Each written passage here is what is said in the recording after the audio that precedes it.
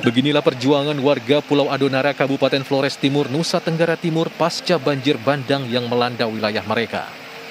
Warga terpaksa harus melintasi jembatan darurat untuk menuju ke sejumlah lokasi di seberang desa. Salah satunya seorang wanita hamil yang harus dibantu warga lain untuk melintasi jembatan saat akan menjalani pemeriksaan ke rumah sakit Dr. Hendrikus Fernandes Larantuka. Meski berbahaya, warga terpaksa harus menyeberangi jembatan karena merupakan satu-satunya akses penghubung ke wilayah lain.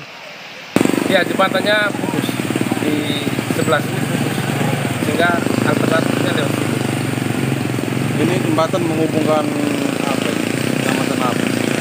Uh, menghubungkan kecamatan Anara Tengah ada 13 desa dan kecamatan Anara Barat ada 18 desa.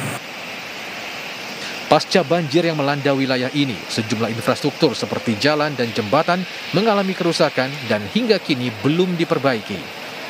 Di Kecamatan Adonara Barat, sebanyak 13 desa masih terisolir, sementara jalan akses menuju kota Larantuka masih sulit dilalui.